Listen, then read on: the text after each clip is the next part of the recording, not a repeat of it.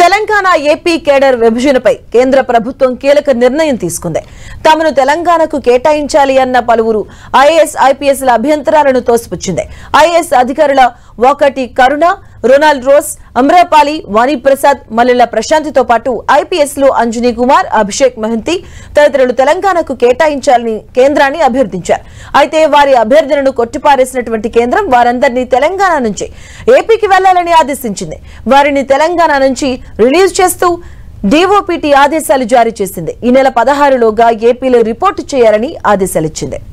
అలాగే మరోవైపు ఏపీలో పనిచేస్తున్న తెలంగాణ కేడర్ ఐఎస్ అధికారుల ఎస్ఎస్ రావత్ అనంతరం సృజన శివశంకర్లను సైతం రిలీవ్ చేస్తూ డివటిఓ ఆదేశాలు జారీ చేసింది. ఉమ్మడి ఆంధ్రప్రదేశ్ విభజన సమయంలో అధికారులను ఏపీ తెలంగాణలకు కేంద్రం సర్దుబాటు చేసింది.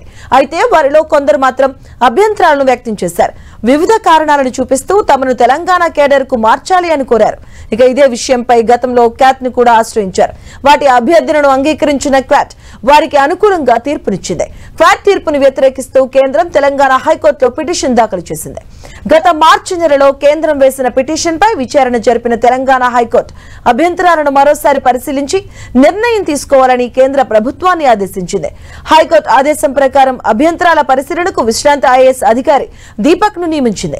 ఆయన ఇచ్చిన నివేదిక ప్రకారం అధికారుల అభ్యర్థనలను తోసిపుచ్చుతూ తాజాగా నిర్ణయం తీసుకుంది.